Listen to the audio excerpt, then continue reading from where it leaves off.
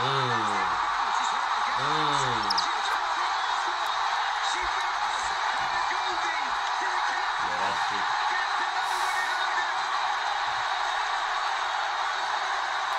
she could fight, bro. She could fight, bro. That shit was clean, my boy. Straight up. Amazing. So frustrated with that, right? You hurt your opponent, and then you get submitted